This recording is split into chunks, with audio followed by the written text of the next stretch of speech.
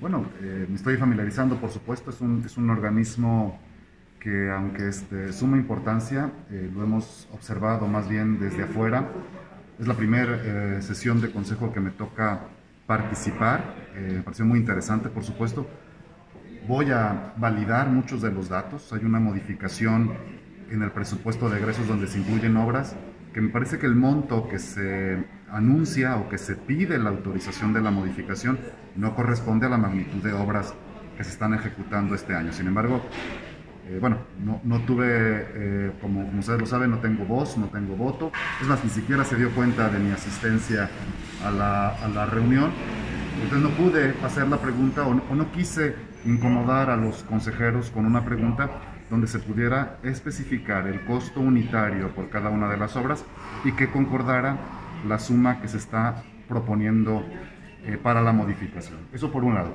Por otro lado, también apoyo eh, la opinión de algunos consejeros donde con justa razón preguntan por qué no se involucraron ellos en la toma de decisión, en la definición de las obras. O sea, vienen y se les anuncia un, cambio de presupuesto y, se supone que se, somete a una votación eh, del cambio del presupuesto de egresos, pues con la intención, digamos, de validar y de legalizar una, una infraestructura que ya se está haciendo. ¿Qué hubiera pasado si lo votan en contra? O sea, modo que se hubieran echado para atrás las obras. Entonces, me parece que hay mucha información muy relevante, por supuesto que tendré que, tomé notas de muchos de esos datos y que voy a, a validar, por supuesto, con la propia información que hay en, en, la página, donde, por cierto, no encuentro ninguna licitación, ninguna convocatoria, ningún plan de obra. O sea, la verdad es de que la página, en su sección de transparencia, carece de mucha información. No me quiero atrever a dar más, más eh, eh, hipótesis al respecto, pero eh, me parece que tendré que investigarlo por, por, por, mi propia cuenta. El planteamiento que hizo el secretario del sindicato sobre la basificación.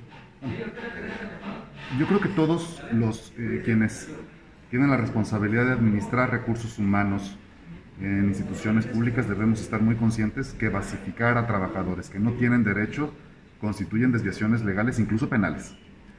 Eh, eso lo sabe muy bien, por supuesto, la presidente interino, eh, que estoy seguro de que esa es la razón por la que al, el rumor de que iba a haber algunas bases parece que se eh, suspendió o, o, incluso se revirtió en algunos casos. Supongo que el propio director de Zapasa también está muy consciente de que no puede hacer pacificaciones que no estén avaladas por un procedimiento de ley y por supuesto que será uno de los temas que el próximo director de Zapasa habrá de revisar con mucho cuidado para no eh, convalidar una desviación legal.